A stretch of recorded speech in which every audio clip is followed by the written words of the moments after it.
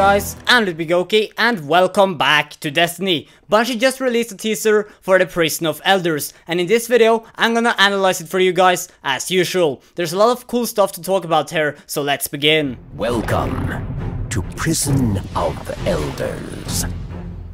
Prepare for combat.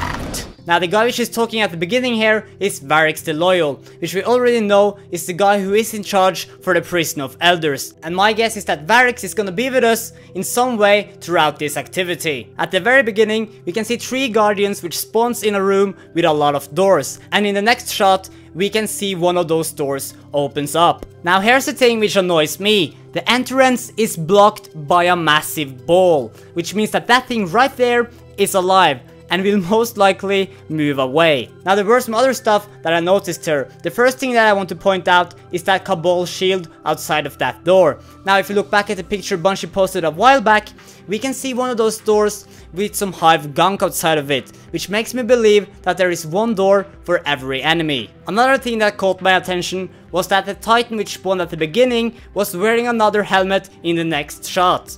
And the helmet we see here kinda reminds me of that Prison of Elders teaser image that we got of the Titan helm. Fight. Kill.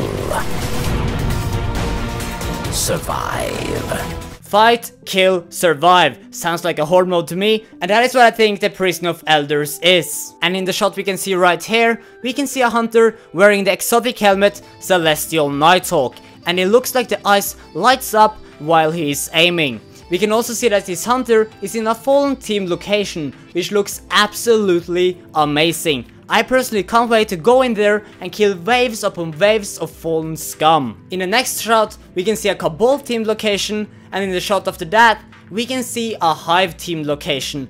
Now there is probably a Vex team location as well, but Bungie will probably save that for a stream or until the House of Wolves drops. Now at the end of the teaser here, we can see a guy which looks a lot like Valus. So I guess that each room will have some sort of a unique boss. And that's about it. There is something that I want to mention before I end this video. My good pal Alan, aka More Console, was lucky enough to go to Bungie Studios in Seattle to get some early access to the House of Wolves.